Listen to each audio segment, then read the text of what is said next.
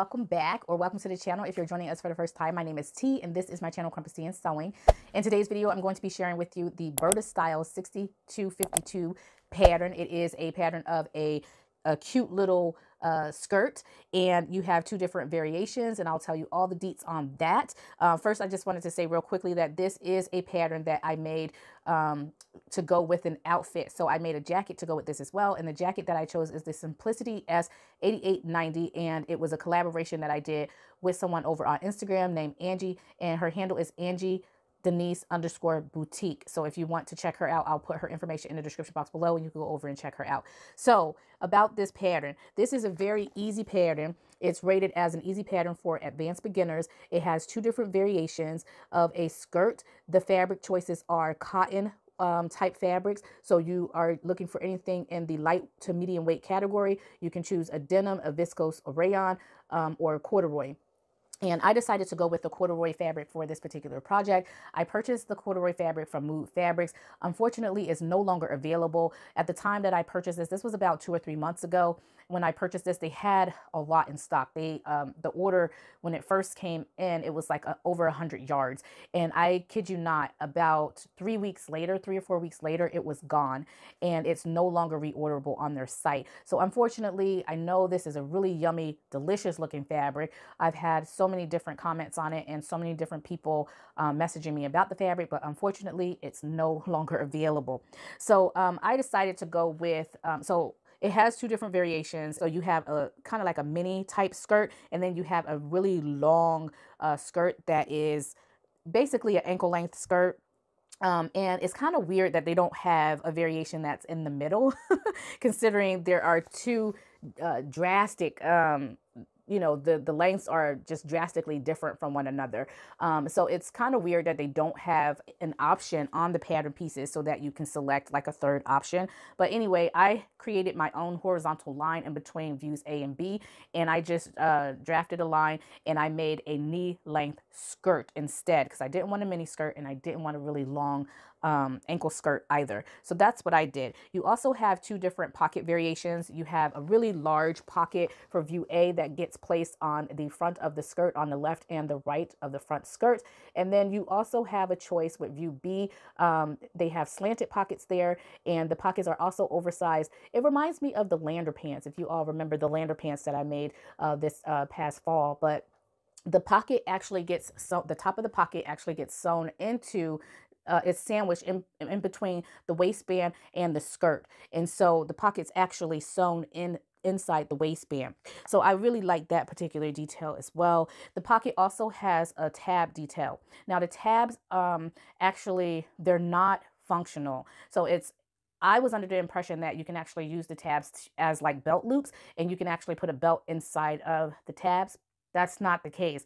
They're purely decorative and they're not really functional because the position because of the position of the tabs uh, it would be really awkward for you to put a belt way below the waistline like uh, you know where the tabs or the carriers usually go it's about two or three inches below that. So it's really weird it's in an awkward place but it's mostly just for decoration. The the um, closure for the garment is um, going to be buttons and buttonholes. So it just depends on which view you choose.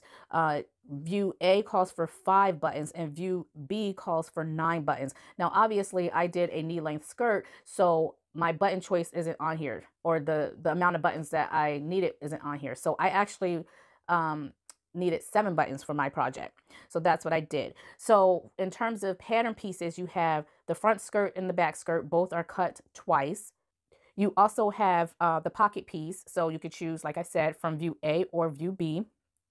And then you have your tabs. Now with your tabs, you're cutting those out eight times. Now, if you double your fabric, you're only cut, cutting those tabs out four times, but you do need eight tabs. And um, there are four tabs total that go on the skirt. And so each tab that you create, you're using two pieces of fabric. So that's why you need eight, um, eight pieces of fabric for your tabs.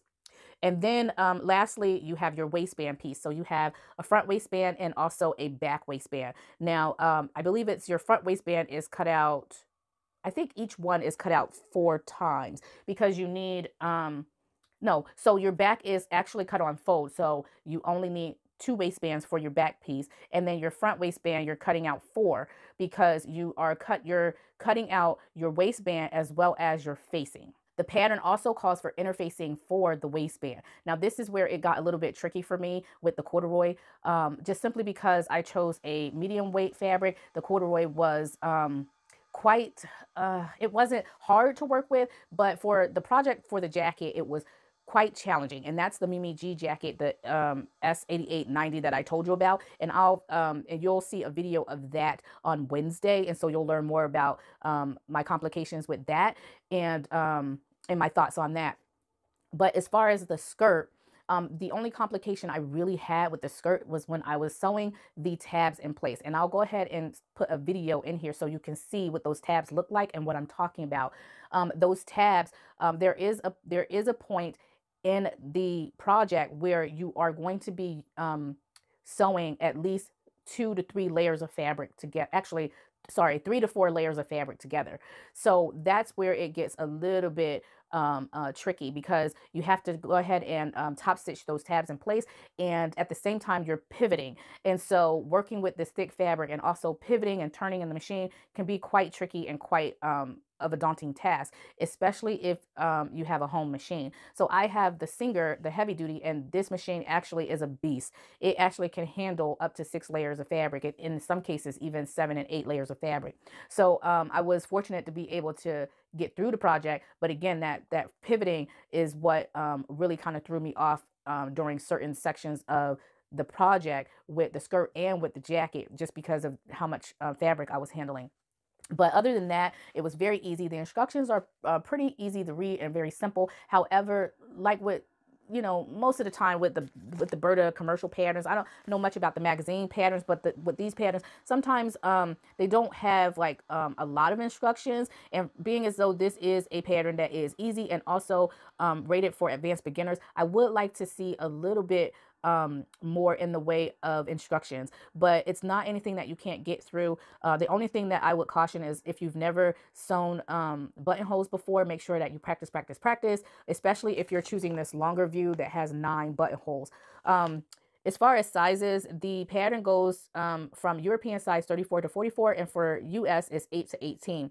Now, I selected, originally I selected a size uh, 16 and the pattern doesn't really tell you um, on the waistband um, what the finished measurements are for that.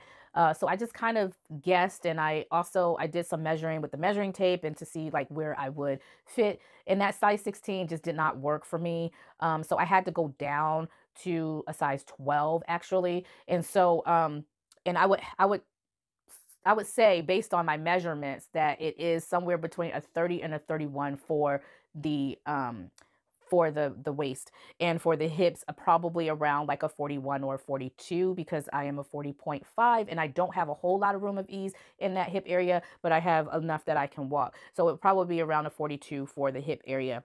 Um, so yeah this is a really simple easy make uh, you could definitely make this um, within a weekend, uh, maybe, you know, two, three hours or whatever, how it just depends on how fast you are and, um, and where your skill level is. But it's definitely an easy pattern. I definitely recommend this pattern. It's a really nice um, pattern for advanced beginners. Like if you're coming out of that beginner stage, this would be a perfect pattern to start with in the advanced beginner category. Um, the only um, suggestion that I would give is just make sure that you choose your fabric uh, wisely. If you are an advanced beginner and you are not experienced with working with um, heavier or medium weight fabrics, don't choose a, a corduroy fabric.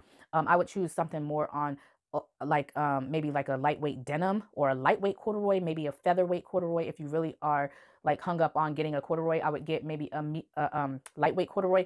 What I chose is a medium weight corduroy and so um, I, I, would not choose that for this project again. Um, they also call for cotton fabrics as well. So any kind of cotton fabric would be really nice for this project, I think, because um, cotton tends to be a little bit on the lighter end, uh, just depending on what kind of cotton that you're you're working with. But maybe a cotton blend or something like that, something it would be really cute in a cotton blend, I think, or like a lightweight shirting shirting denim, um, very cute. So anyway, that is my um, my um, review of this. Um, yeah, I really enjoyed making this.